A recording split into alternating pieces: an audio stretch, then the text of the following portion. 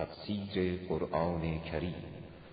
اعوذ بالله من الشیطان الرجیم. بسم الله الرحمن الرحیم. الحمد لله رب العالمین. الهی انتقنی بالهدا و الهم التقوى اللهم صل علی محمد و آل محمد.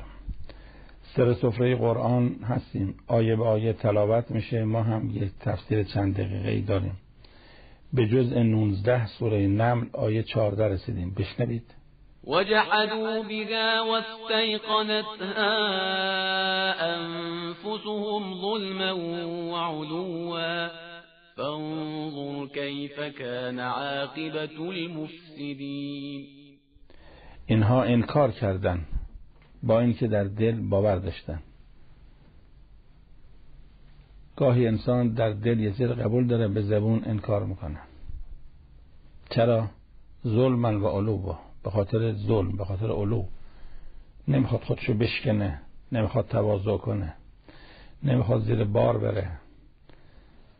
اگر بگه حق با اونه خب باید دست از حرف خودش برداره تسلیم او بشه. نمی‌خواد تسلیم بشه. به خاطر ظلم به خاطر برتری جویی برتری جویی جحد و جحد و جحود. ما در ایران به یهودیان گفتیم جود. جود همون جحوده. یعنی اینها جحد یعنی انکار. و جحدو بها و ها یعنی گاهی انسان باطن خودش لو نمیده. با اینکه باور داره به زبون میگه نه. و قرآن آیاتی داریم که میفرماد که و انتم تعلمون خودتونم می‌دونید. مثلا داریم که ان الانسان علی نفسه بصیره ولو القا معاذیره. آیه قرآنه. یعنی خودت می‌دونی اما به زبون چیز دیگه میگه یعنی انسان یه موجود پیچیده ایه و جحدوا بها و فانظر کیفه کان عاقبت المفسدین حالا نگاه کن که اینها مفسدن عاقبتشون ببین اینها که با اینکه قلبا می‌فهمن می‌دونن حقه ولی به خاطر برتجویی زیر بار نمیدن اقرار نمی‌کنن ببین عاقبتشون چی میشه؟ اینا بد عاقبت میشن اینا مفسدن. امام صادق فرمود پنج, پنج رقم کفر داریم یکی از کفراش همینه. پس همیشه علم و یقین به درد نمی‌خوره. علم و یقینی به درد می‌خوره که انسان طبق علم و یقینش زبانم بیاره. همراه با تقوا باشه. و یعنی نگاهی علمم داره یقینم داره ولی تقوا نداره. بسیاری از کفار در دل ایمان دارن ولی انگیزه انکارشون هم جهل نیست. ولی خب لجبازیه. فنزل فنزل یعنی به تاریخ بنگر از تاریخ درس بگیر. که پایان مفتدین سقوط و تباهی است. خدای تو به حق محمد و آل محمد ما رو لجباز قرار نده. یه روحیه سالمی قلب سالم به ما بده که هر جا فهمیدیم حقه سرکشی و گردن کلفته نکنیم. تسلیم حق باشیم. خب آیه 14 انتقاد بود از کسانی که می‌فهمن می‌دونن یقین دارن. اما اقرار نمی‌کنن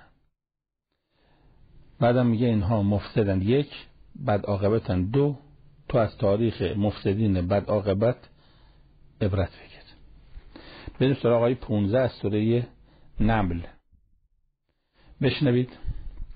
ولقد آتينا داود وسليمان علما وقال الحمد لله الذي فضلنا على كثير من عباده المؤمنين. البته ما به حضرت داوود و سلیمان به این پدر پسری که هر دو پدر و پسری که هر دو پیغمبر بودن علم دادیم. و اینها شکر کردند گفتن الحمدلله. الحمدلله که چی؟ فضل علی کثیره ما را برتری داد بر بسیاری از بندگان مؤمنش. نگو بر همه مردم چون کسایی بودن که از داوود و سلیمان هم علمشو بیشتر بود. خب اینجا حال علم چیه؟ میشه علم قضاوت باشه؟ چون در قرآن میگه به سلیمان و داوود علم قضاوت و فصل خطاب دادیم. و آتیناه الحکمت و فصل خطاب ما به او علم حکمت دادیم و فصل خطاب یعنی قاضی که حرف آخر بزنه.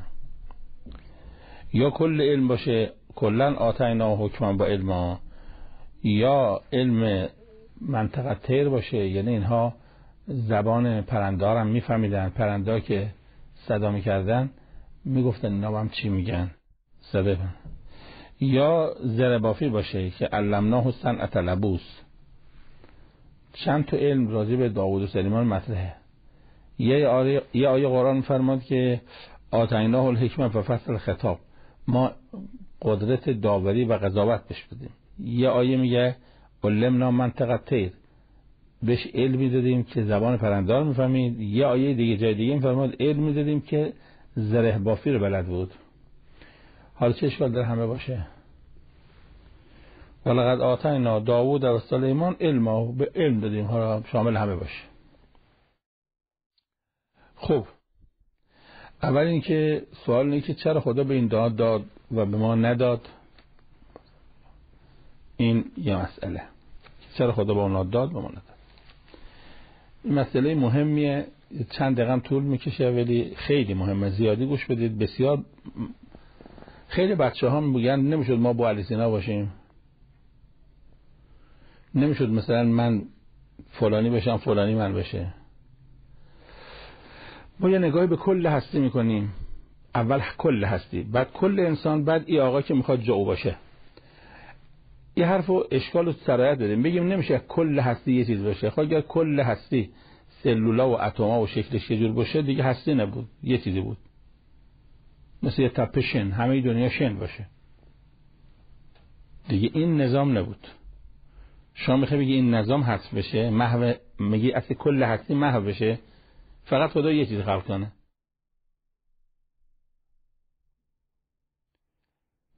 اینو هیچ که نگفته که نه بنده نظر که از هستی بی هستی اینی که هیچ که نمیگه. این مال هستی پس نمیشه خدا هستی رو همه رو یک سلول و یک اتم خلق کنه. بریم سراغ انسان. بگیم همه آدم یه جور بشن. این قبول دارید؟ اگه بگیم همه آدم یه جور بشن وقت زندگی جا میفته زندگی بشر وقتی زندگی بشر اجتماعیه باید هر کسی استعدادی داشته باشه. یکی گرایش به این علم یکی گرایش به او علم یکی این هنر یکی اون هنر.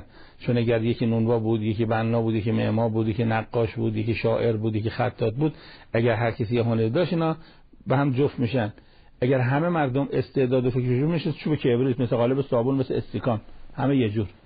کسی زیر بار کسی نمیره قرآن یه آیه داره میگه من تفاوت خلق کردم که زیر بار هم دیگه بروید. به هم چوف شید. اگر همه مردم یه جور بشن مثل میخ نه به هم ترکیب نمیشن. باید یکی پیچ باشه یکی موره باشه یکی ساق پا باشه یکی کله باشه یکی چشم باشه. پس اگر میگه همه هستی یه جور باشه یعنی هستی محو بشه فقط یه تپشن بشه. اگر همه آدمای جور بشن یعنی همه میخ باشن یعنی همه یه جور یه جور بگن یه جور بفهمن و زیر بار هم نمیرن پس باید تفاوت باشه. منتها شما میگی چرا من بو علی سینا نشدم؟ من می‌خواستم بو علی سینا بو علی سینا بشم. خب اگر تو بو علی سینا بودی او تو بود. جاتون عوض کردن اشکال برطرف میشه. خب او اشکال خواهد کرد. همینطور که الان تو اشکال می‌کنی که چرا من رفتم بالا حالا اگر تو رفتی بالا اونو گذاشتن پایین باز او اشکال می‌کنه که چرا من پایینم؟ پس ببینید اشکال برطرف نمیشه. مثلا که این تفاوت باید باشه. منتها این چاله تفاوتات چهار جور پر میشه. یکی از این چاله رو نیت پر می‌کنه. میگه تو اگر نیت داشته باشی با نیتت می‌تونی به او که عمل کرده برسی. مثلا کسی خونه بزرگ داره هزار نفر رو غذا میده افطاری میده. یکی خونهش تنگ 20 نفر رو. روایاتی داریم که اگر این آقایی که 20 نفر افطاری میگه میگه خدایا اگر منم خونه بزرگ داشتم منم به هزار نفر می‌دادم. من به هزار نفر افطاری می‌دادم غذا می‌دادم. روایت داریم خدا اگر بدونه در قلب صادقه همون ثواب هزار تا رو به بیستان میده. یعنی با نیت انسان می‌تونم بنده الان می‌تونم نیت کنم در همه خیرهای عالم شریک شم. مثلا یکی داره سخنرانی می‌کنه تو تلویزیون یا تو نماز جمعه یا هر جا میگم خدا یا ایشونو حفظ کن. همین که میگم دعا میگم خدا حفظ کن. در ثواب او شریکم همه که ما در نیت راضی باشیم به کار خوبها من خوشحالم که این اختراع کرد همه که خوشحالی که این خدمت که اختراع کرد وام داد سور داد اطعام داد افتاری داد به کار دیگران راضی باشیم شریک یک. نیت کنیم شریکیم. این سوم گاهی وقتا او یک کمال داد تو هم کمال دیگه داری. شما نبین که مثلا ها او خوشگلتره شما چرا زشتی؟ بله ممکنه او شکلش بهتره اما بچه های تو استعدادش بیشتره. خدا یه جوری قاطی کرده ما دلقامه امیر المومنین تو میگه قدش بلنده اما قصیر الهمه همتش کوتاست. قلیق اللسان بیانش نرمه اما حدید الجان قلب سنگه. سنگ دله قرنه به ساعتها فاقتها حضرت امیر فرمود گوشتا رو با سخو قاطی کرده. یعنی اونی که میگی خوشو به حالش می‌بینه بله خوشو به حالش پولش بیشتره اما بچه مشکل دار داره. او بچهش تیزهوشه زنش عصبانیه. او زن و بچهش خوبه خودش نمی‌دونم شبا دیر خوابش بره اعصابش چنینه. یه جوری خدا تقسیم کرده که اینم بعدم باید یه چیز دیگه هم هست و اونه که مسئولیت هم فرق می‌کنه.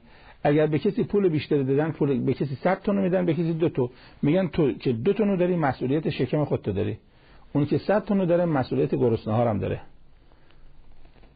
پس اگر تو استعدادت کمه پولت کمه زورت کمه امکاناتت کمه مسئولیتت هم کمه. هر که بامش بیش برفش بیشتر. یکم یه سری کارا در قیامت جبران میشه. چون ما ایمان به قیامت هم داریم. خیلی وقتا یه چیزهایی در قیامت جبران میشه. مثل کسی که خونشو میده شهید میشه. خب ای که شهید شد جونشو داد. خب چی؟ اگر قیامت نباشه باخته. بلکه جونش داد برای که مملکت مستقل بشه من رفتم برای که تو راحت بشی. به من چه که جونم بدم برای که تو راحت بشی. اگر با نگاه آخرت حل میشه. میگم من میرم به سرای دیگه. در مقابل این مقدار که باید عمر کنم در رفاه و لذت ببرم. این لذت تبدیل می‌کنم به لذت قیامت. اولش استقلال دیگه جبران قیامت یعنی دنیا رو با قیامت میدیم حرفم تمام. یه بار دیگه میگم. چرا خدا همه رو یه جور نیافریده. میگی کل هستی یه جور باشه یعنی یه تپشن. یعنی کل هستی محو بشه. این که نمیگه. میگی کل آدما یه جور بشن یعنی همه قالب صابون. زیر بار هم نمیدن. میگه نه تفاوت بشه تو من برم بالا او بیاد پایین. خب اشکال سر جاشه. او که رفته پایین دو مرتبه اشکال می‌کنه. پس چی؟ پس باید این تفاوت ها باشه؟ منتها تفاوت رو با نیت پر می‌کنیم با رضایت به کار همدیگه پر می‌کنیم با تعاون پر می‌کنیم. گاهی هم نگاه کنیم از شما یه چیزی کم گشته قدرت کوتاست خطت بهتره. خطت بده تبشر داری. تبشر نداری خوش صدا هستی. صدات خوب نی تیز هوشی. هوشت خوب نی بچات تیز هوشه. یعنی یه جوری خدا قاطی کرده که این تعادلی برقرار بشه بعدم تمام چالشورا با قیامت فرو میشه. چون زندگی باید بگذره با قیامت فرو میشه. مثل کسی که مثلا یه خلاف می‌کنه یه سیری بهش می‌زنن. یه کسی بیشتر خلاف می‌کنه هیچ کارش ندارن. میگیم خدای چه مملکتیه؟ ما یه غلطی کردیم فوری از وزارت اطلاعات یا از نیرو انتظامی گفتن حواس جمع باشه. فلانی هزار رقم توطئه می‌کنه. هیچ کار نه آقا جون اینا رو گذاشتن که شبکهش کشف بشه. شبکه که کشف شد تریاک از کجا اومد از کدوم مرزف چه کردن چه کردن. گاهی ممکنه شما رو یه سیگار ببینن بدن رو دستت که چرا سیگار می‌کشی؟ اما اون ممکنه 200 کیلو تریاک واسه کارش نداشته باشه. صبر کنید گذار پوست به دب خونه میفته عاقبت ببینید چه میشه. و السلام علیکم و رحمت الله.